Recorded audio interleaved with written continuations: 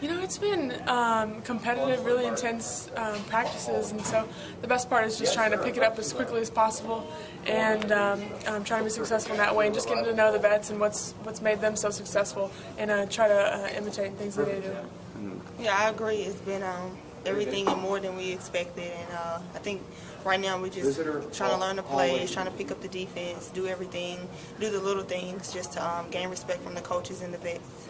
And you're getting ready for your first trip now as a uh, pro here. What are you nervous at all, or what are your thoughts on this? Um, I'm not really nervous. I'm just excited to, um, you know, just go go to the first game, get the jitters out, and uh, just be able to experience, you know, life. We see it on TV and you watch it growing up, but now you're a part of it. So it's just amazing, amazing opportunity, and we're just taking it one day at a time.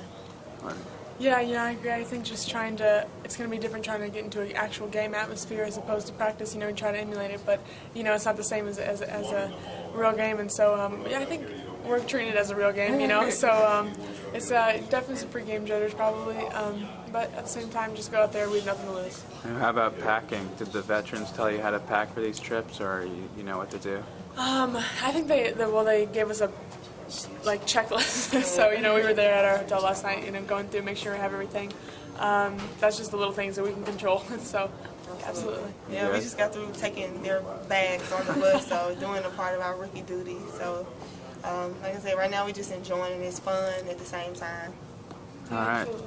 Best of luck in Chicago.